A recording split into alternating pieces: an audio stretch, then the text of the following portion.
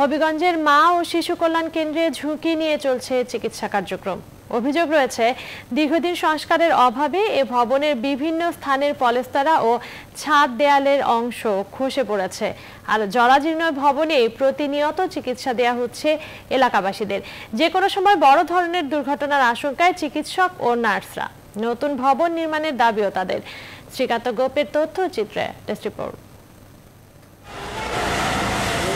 হবিগঞ্জ জেলা মা ও শিশু কল্যাণ কেন্দ্র প্রতিষ্ঠা করা হয় উনিশশো পঁয়ষট্টি সালে। এই কেন্দ্রে বিনামূল্যে চিকিৎসা দেওয়া হয়। অভিযোগ রয়েছে, দীর্ঘদিন সংস্কারের অভাবে এ ভবনের বিভিন্ন স্থানের পোলেস্তারা ও ছাদ দেয়ালের অংশ খসে পড়েছে।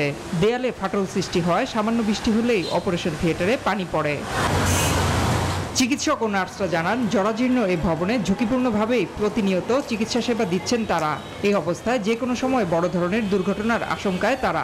বিল্ডিংটাও ড্যাম হয়ে গিয়েছে ওটি থেকে পানি পড়ে, পোস্ট অপারেটিভ রুমে রুগীদের থাকতে অসুবিধা হয়, সেখান থেকেও পানি পড়ে। স্টোর দোতলায় স্টোরে পানি লিক করে, যে কারণে অনেক ওষুধ এবং ওটির অনেক মূল্যবান যন্ত্রপাতি বিভিন্ন সময় নষ্ট হয়ে যায়। এইদিকে পানি পড়ে, তারপর টেবিলটা কাগজ পড়ে, মেশিন বেরোয় পানি তো বেশি সমস্যা হয়।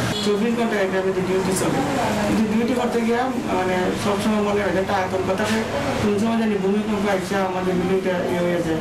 ঝুঁকিপূর্ণ ভবনের কথা স্বীকার করে সংশ্লিষ্টরা বলছেন এই কেন্দ্রে রোগীদের চিকিৎসা সেবা নিশ্চিতে সব ধরনের চেষ্টা অব্যাহত রয়েছে।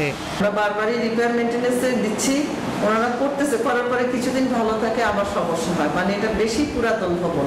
পানি পরে ড্যাম্প রুম তারপরেও আমাদের কাজ কার্যক্রম মেনে আমরা কাজ চালিয়ে যাচ্ছি। হবিগঞ্জের মা ও শিশু কল্যাণ কেন্দ্রে নতুন ভবন নির্মাণে সব ধরনের উদ্যোগ নেবে সরকার এমন প্রত্যাশা রোগী চিকিৎসক সহ সবার। Desk report news 24